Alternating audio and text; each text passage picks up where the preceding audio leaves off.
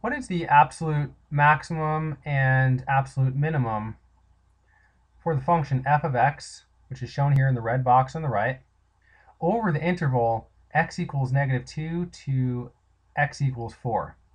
Now to answer this question, we have to first get all the critical points over this interval. And what the critical points are, the values of x at the endpoints, so negative 2 and 4, and the critical points also are the values of x for which f prime of x is equal to 0.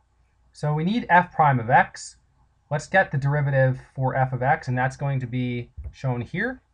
So f prime of x is as shown and factored here. So we need to find the zeros for f prime of x. So we set this equal to 0. And then x is equal to either negative 5 thirds or 1. So let's construct a table now with all four x values that we have, and that table is shown here.